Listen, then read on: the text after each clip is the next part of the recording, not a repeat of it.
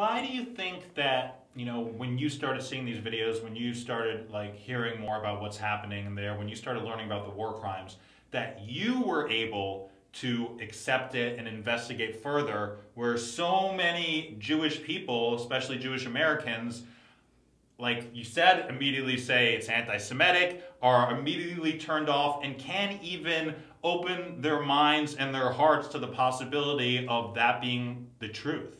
I think I started out trying to understand more because I wanted to be able to, to defend what I thought at the time was the right position, which was pro Israel. Again, it was totally uncritical. I knew nothing.